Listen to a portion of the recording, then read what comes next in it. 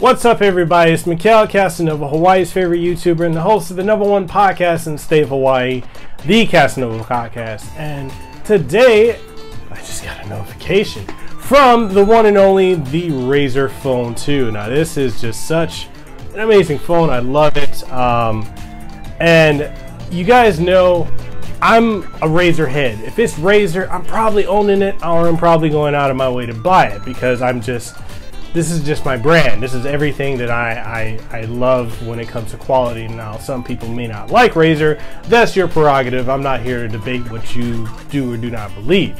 But what I am going to say is for me, as uh, I'm going to give you guys a bit of a background, preface this all, to show you why I went with this over the Galaxy Note 9, over the uh, OnePlus 6T, and many other phones. And now I'm a IT systems analyst. I'm a business systems analyst. And so a lot of things that I do are RDC or remote desktop connection. I do uh, server maintenance. I do a lot of uh, account creation, modification, and uh, assessment. And I do a lot of other, you know, technical stuff. And so the Note 8 that I've had for about a year and a half, uh, when it started off, it was running really well, but it got to a point where it started to run really crappily.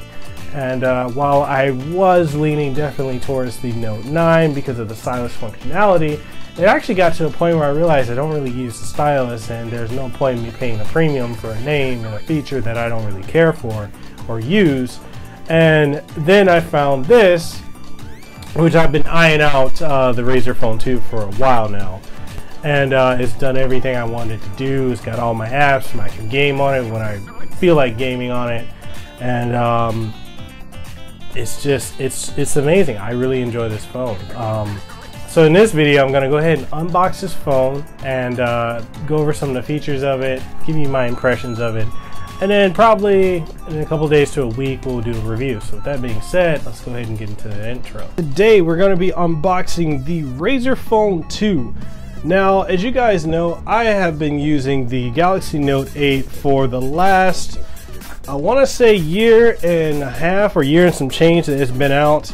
Uh, I never upgraded to the Note 9. I know there are two different variations. There was the 128 gig one with uh, 6 gigs of RAM, and then there's the 512 gig one with um, 8 gigs of RAM. And the one with 8 gigs of RAM is what I wanted because a lot of the applications that I use for work, being Secure Hub, um, uh, Citrix Workspace and more. Basically, as an IT analyst or systems analyst, I do a lot of remote work, server work, uh, checking my emails, uh, account modifications and creation.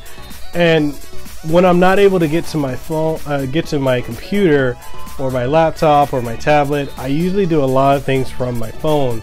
And that was one of the areas that, while I have an iPhone as well as a personal phone, I just do not. I, Apple and IT to me just do not go together. Um, I've had a lot of issues with compatibility with Apple and a lot of things. But when it comes to uh, the Note 8, it was okay to a certain extent. Uh, then it got to a point where it just it just wasn't what I needed it to be. Uh, it was starting to run slow, it, you know, and I think this is standard Samsung, you know, for the cor- par for the course and I just honestly I was just getting tired of it. So uh, I was looking at different phones there on the market. So there's you know I, I thought about the Note 9, and, and, honestly the price just was enough for me to not have an interest in it. Because um, for the same price, uh, for less in the same specs, I could get the Note. I mean the the Razer Phone 2 and I mean minus the screen. I don't really care about the super AMOLED screen that it has. I, I, really care about functionality and battery life and performance. And I've heard nothing but great things about this. I know a lot of people who have been doing reviews on it aren't really gamers. Uh, one of my friends, actually, Michael Fisher, did. Um, he did a, um, a review of it too, and he gave it really good, glowing praise. And so I just wanted to go ahead and give my take on it as a business systems analyst, uh, also as a you know as a gamer. So I wanted to give it a different perspective and know people. I'm not going to be playing PUBG or Fortnite. I, I have those. I will play them, but I'm not going to use those as benchmarks for how good this phone is. So let's go ahead and open it up. So it says uh, flagship gaming here. And then we got the letter from the president. Actually, you know what's funny is the president of uh, Razer actually liked and retweeted one of my tweets when I was talking about picking this up. So shout out to you um, for doing that. So basically, says Razer phone was created from those serious about performance, whether it was kicking ass in game or kicking back and enjoying movies and HDR. Uh, we should we showed the world a device that redefined the standard in mobile gaming and entertainment. Now meet the Razer Phone 2. And uh, I'm not going to read all of that. Uh, you guys, if you want, you can pause the video and you can check it out. But this is dope. Uh, you guys already know I'm truly a Razer head uh, when it comes to Razer devices. I have so many of them. This feels so good in the hand. Oh my god. This feels like a man's man's phone. I, I'm so hyped with this. It doesn't feel flimsy. And let's check out some of the other things that comes in the box. So if I flip that over, so if I pull this out, got the Razer SIM eject pin, information here. Got the Razer Phone 2, as you can see. You know, different information, whatnot. So like goes over what's inside. I think that's everything that's in here, or maybe not. Okay, we got stickers. That's dope. So that's just about that. Uh, got the USB-C wall charger. So it's got the Razer on it. So this is pretty cool. Um, and some other things in it too. You got your cord. So I still use analog 3.5 millimeter headphones, so it's got the USB Type C to headphone input. Uh, basically, a lot of the, I mean, a lot of you guys know we're going to a point where headphones are being removed, so there's that.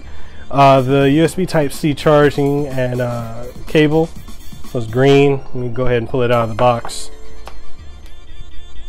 It's braided too. So it's braided and green. So that's dope. Um,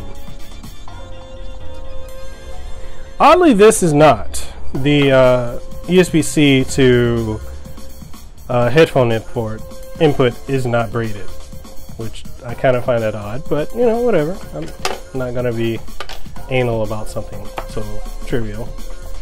And I think that's everything that's in the box.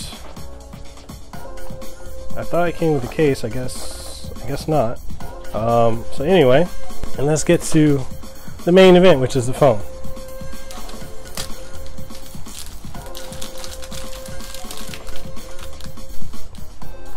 This bad boy feels so friggin' good in the hand. Fingerprint sensor on the side here. Dual camera on the back. Glass, all glass back body Plus, it's got the you can charge it. Uh, it's got the Qi charging coil in the lower part of it. Volume up and down. This is uh this this is this feels so good. You guys don't even understand right now. So I'm powering it on. This is powered by Android. Oh my goodness, look at that. That is beautiful.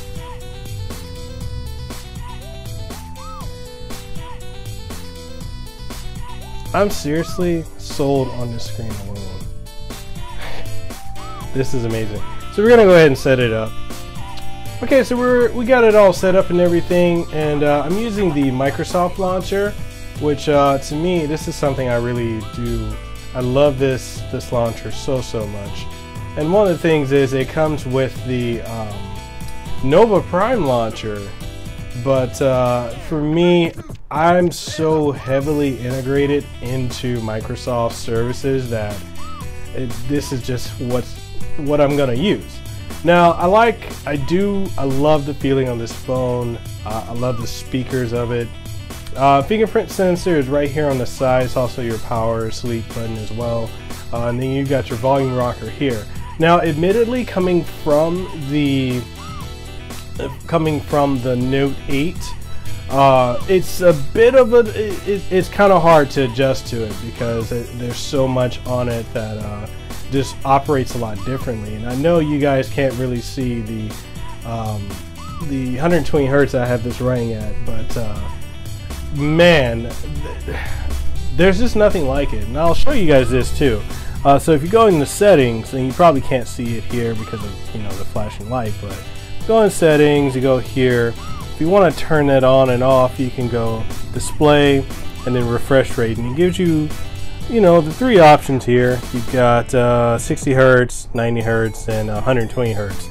Now the 120 hertz does affect the uh, the usage of it, the battery life, which I mean is kind of going to be something that you're going to uh, trade off of. Uh, then you've also got the Chroma logo, which you can turn that on and off uh, depending on your preferences. The camera, and now I've heard a lot of YouTubers say the camera's not that great, and you know, admittedly, uh, given that I'm not really into uh, photography or cinematography, I don't really care one way or another. I do like the fact that you've got the HDR functionality here. You can turn on to either be automatic, you can turn it off, you can turn it on um, the button placement. You can do stuff like this, as you guys can see that I'm using my iPhone 10 to record this video. So um, I think it's fine. Uh, the speakers on this thing are joyous. Uh, let me go ahead and pull up a, uh, a, uh, a, video. So we've got, um, this is from your average uh, consumer. Shout out to him. He's an amazing tech YouTuber. So uh, I'm gonna let you guys hear how the sound is. What's going on, guys? It's your average consumer, and today we're gonna be spending a real day in the life with a Razer Phone 2. Now, if you've never seen one of my real day in the life videos, you're pretty much gonna be spending the day with me and the phone as we test out things like the performance, game. Now, I don't want to get hit with a copyright strike, but you can see and hear how loud this is. This is really, man, this this phone right here uh, it, it, it just feels solid. Like this feels like the phone I've always wanted. I, am really in love with it. Uh, I've been playing a couple games. I've been playing some Dragalia. As you guys can see, I've got some of my emulators on here. So got Dragalia, Star Ocean. I've got Fire Emblem Heroes. Uh, got some of my emulators for SNES, PSP, uh, Yabause. Also got my Final Fantasy. Let me reorganize that. Put that there. Final Fantasy 6. Um, like I said, I could probably play Fortnite or PUBG. I'm just not into uh, those kind of games. It's just not my not my style, but um, it definitely does that well. I've had no hiccups, no slowness, no stuttering, no nothing. This phone has been fantastic. Um, what I will do is I will give you like an, uh, an example in the coming week or so of how this actually functions down the road. Um, the battery life. Now, some people have said they get about four hours of battery life. Some say they get more. Some say they can get six to eight hours. It really kind of depends on your usage of how you're using this phone, in my opinion. Um, but uh, we'll, we'll, you know what? We'll follow this up in a week and see where we come at with this. But so far, this is solid. I love the build quality. I'm glad it's not an all-screen display with the whole, you know, notch thing. Which I mean, the notch thing never really bothered me, but it is what it is. Uh, no headphone jack is using USB Type-C, which is why you have the uh, adapter here. So if you want to plug in headphones, you just plug that in there. And then whatever headphones you have, you just plug it into this port here. Um, but with that being said, I mean, this thing is just, oh God, I love this phone. Anyway, um, that is the Razer Phone 2. Uh, so far, that's the unboxing. I'm really enjoying it. If you guys, uh, if there's anything you want me to cover in the review process, if you want me to recover, like, you know, does it get too hot? I mean, it does admittedly get a little warm, but I think all smartphones do. There's nothing new about that. Uh, it's not burning to the touch. I have not experienced that. Uh, if you guys want me, if there's anything in particular you want me to cover, the battery, gaming, uh, video quality, you name it, let me know and uh, let me know down in the description below or hit me up on Twitter at uh, twitter.com slash Mekel Kasanova or at Mekel Kasanova. And I'll, you know, I'll look into it for you and I'll include it in the video. But with that being said, so far, solid phone. I have definitely been able to take advantage of the applications I use, which, you know, in case you guys don't know, I use stuff like this. So Secure Mail, Secure Hub, uh, Workplace, Skype for Business. These are the type of uh, applications I use. So runs like a dream, no slowness, no stuttering, nothing. All right, and that just about wraps up this uh, unboxing of the Razer Phone 2. Shout out to Razer for making such a phenomenal product. In my opinion, I really love it. Uh, this thing is everything I want it to be. And, um, you know, as an IT analyst, this is just this is what I'm looking for. But we'll come back with a review and, and we'll see if things change, you know, because over time, all everything changes. Nothing is set or solidified in stone, uh, aside from death and taxes. Anyway, other than that, um, yeah, why don't you guys tell me what you think down in the comment section below. If you guys are interested in this phone, if there's anything about it you want me to cover in the review, let me know and I'll make sure that happens. And with that being said, I have joined the cult Razer when it comes to phones. As you guys can see, I've got Razer equipment and my super nice Samsung. Samsung, this is about the only thing I have left that you guys have. No offense to you guys. This is a phenomenal monitor but it might be replaced with that new Razer monitor. Two of them. So with that being said, I'll catch you guys in the next one. Deuces wild, too sweet, be the elite. I'll see you later on.